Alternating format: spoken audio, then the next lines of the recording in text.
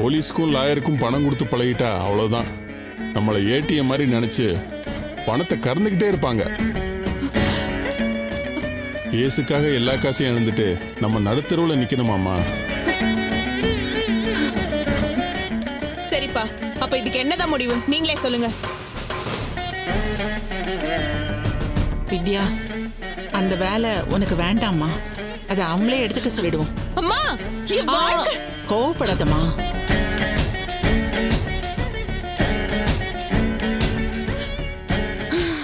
இந்த வேலைக்காக தானே அவங்க இப்படி ஒரு புகாரை கொடுத்துருக்காங்க?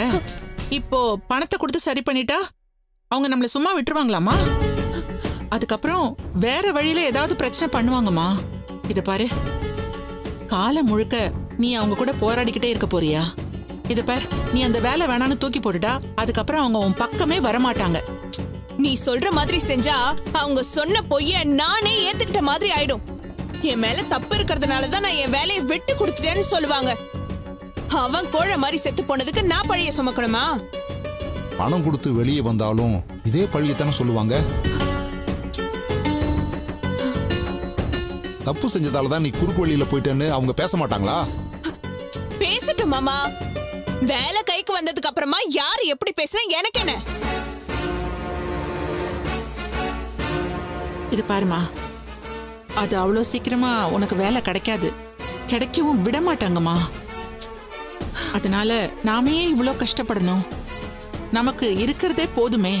அந்த வேலையை விட்டு தொலையுமா முடியாதுமா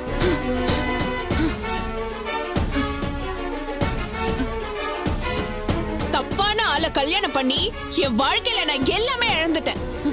அந்த ஆளால எனக்கு எந்த நல்லதுமே நடக்கல. அவனால கிடைக்க போற ஒரே நல்ல விஷயம் இந்த வேலை மட்டும்தான். அத வச்சுதான் இழந்த வாழ்க்கையை நான் மீட்கணும். அதனால என்னால விட்டு கொடுக்க முடியாது. புரியுதுமா? ஆனா பணத்தை கொடுத்து இந்த பிரச்சனைய சரி பண்ற நிலைமையில நம்ம நிலைமை இல்லையேம்மா? அதெல்லாம் எனக்கு தெரியாதுமா நீ எடுத்த தப்பான முடிவு தான் எல்லாத்துக்குமே காரணம். அதை சரி பண்ண வேண்டிய கடமை உனக்கு தான் இருக்கு.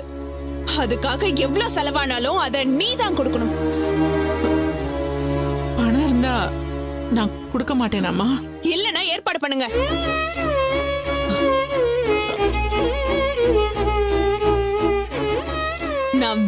வேணாம் வேணான்னு கதறியோ என்ன கேட்காம அவனை கட்டி வச்சீங்களே அந்த பாவத்துக்கு இதுதான் பரிகாரம்னு நினைச்சு செய்யுங்க. வித்யா இந்த பேச்சை விடவே மாட்டியா? நம்ம சூழ்நிலை இப்ப சரியில்லைன்னு அம்மா சொல்லிட்டு இருக்காங்க. அதை புரிஞ்சுக்காம நீ பழைய கதையவே பேசிட்டு இருக்க? ஏன்னா நான் காயப்பட்டிருக்கேன். இப்பவும் அந்த வலியை நான் அனுபவிச்சிட்டு இருக்கேன்.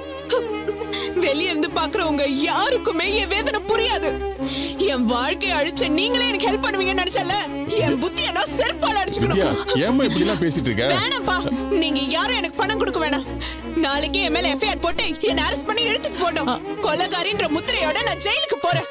என் தொல்லை மொத்தமா ஒழிஞ்சதுன்னு நீங்க நிம்மதியா இருங்க. வித்யா வித்யா. வித்யா வித்யா, கேளு. வித்யா. பாரு. இல்ல வித்யா வித்யா. ஏய் வித்யா. வித்யா ஏய், வித்யா வித்யா. வித்யா. அம்மா வித்யா. வித்யா. வித்யா. சொன்னா கேளு. அக்கா கதவு திறக்கா கதவு தர நாம இன்னும் பேசிக்கிட்டு தானே இருக்கோம். அதுக்குள்ள ஏன் இந்த மாதிரிலாம் பண்ற? கதவை தர வித்யா. வித்யா! வித்யா! அக்கா எனக்கு பயமா திற. எதுவா இருந்தாலும் பேசிக்கலாம். கதவு திறக்கா.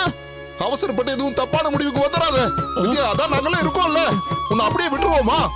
முதல்ல கதவை திறந்து வெளியே வாமா. வித்யா பணத்தை ஏற்பாடு பண்ணலாமா? முதல்ல எல்லாரும் வித்யா. தயவு செஞ்சு வெளியில வா. சொன்னா கேளுமா. ப்ளீஸ் வெளிய வாம்மா. ஒரு மாதிரி படபடன்னு இருக்கு. வித்யா. அக்கா. அக்கா. உட்காருமா. உட்காரு பாத்து. உட்காருக்கா? உட்காரு. சுந்தர் நீ கதவை தட்டு. வித்யா கதவை தர. அக்கா, தண்ணி. சொன்னா கேளு வித்யா கதவை தர. ஏய் வித்யா அக்காவுக்கு வேற வீசிங் வந்துருச்சு. மெடிசன் உள்ளதா இருக்கு. ஐயோ அக்கா கதவு திறக்கா. சொன்னா கேளு கதவை தர டென்ஷன் ஆகாத. வித்யா. நீ பதட்டப்படாத. நான் பார்த்து ஏன் இப்படி பண்ற வித்யா? டேய் சுந்தர் நல்லா தட்டுறா வித்யா கதவை தர அக்கா அக்கா எல்லாம் ரெடி பண்ணிடலாம் வித்யா. ஏன் இப்படி நடந்துக்கிற? அவசரப்படாதக்கா ப்ளீஸ் கதவு வித்யா, ஒன்றும் டென்ஷன் அக்கா ஆகாதம்மா ப்ளீஸ் சொல்றேன்ல. வித்யா. தயவு செஞ்சு கதவை திறந்து வித்யா, கதவை. கொஞ்சம் எடுத்து கொடு. அப்பா அம்மாக்கு என்னாச்சு? வந்துருச்சுடா. அண்ணா வித்யா அக்கா கோவமா உள்ள போய் கதவை சாத்திக்கிட்டா. யாரு கூப்பிட்டாலும் வெளியே வர மாட்றா. ஆமாண்டா. டென்ஷன்ல அம்மாக்கு முடியாம போயிடுச்சு. பயமா இருக்குண்ணா. ஒண்ணும் இல்லம்மா ஒண்ணும் இல்லம்மா கதவு தர வித்யா. வித்யா. வித்யா கதவு தர வித்யா. வித்யா கதவு தர. வித்யா கதவு தர வித்யா. எதுவா இருந்தாலும் பேசிக்கலாம். முதல்ல கதவை தர இப்போ நீ கதவு திறக்கறியா இல்ல உடைச்சிட்டு உள்ள வரட்டுமா? உங்க எல்லாருக்கும் இப்ப என்னதான் வேணும்? கொஞ்ச நேரம் கூட என்ன நிம்மதியா இருக்க விட மாட்டீங்களா? ஏன் எல்லாரும் சேர்ந்து என் உயிரை வாங்குறீங்க? நாங்க உன் உயிரை வாங்கல. நீ தான் எங்க எல்லாரையும் போட்டு பயமுறுத்திட்டு இருக்க. இப்போ உனக்கு என்ன பிரச்சனை? ஏன் இப்படி எல்லாம் பண்ணிட்டு இருக்க நீ? சொன்னா மட்டும் நீ தீர்த்து வச்சிருவியா? நீ எப்போ அம்மா பக்கம் தானே பேசுவ? வித்யா முதல்ல என்ன விஷயம்? உனக்கு என்ன தேவைங்கறத சொல்லு. எனக்கு இன்னைக்குள்ள 50000 ரூபாய் வேணும். நாளை காலையில இன்ஸ்பெக்டர் கிட்ட கொடுக்கலனா என் மேல எஃப்ஐஆர் போட்டுருவாரு. அதோட என் வாழ்க்கையே முடிஞ்சு போயிடும். சரி அவ்வளவுதானே? அந்த காசை நானே தரேன். போதுமா? டேய் அவளை சமாதானப்படுத்துறதுக்காக ஏதாவது சொல்லாத.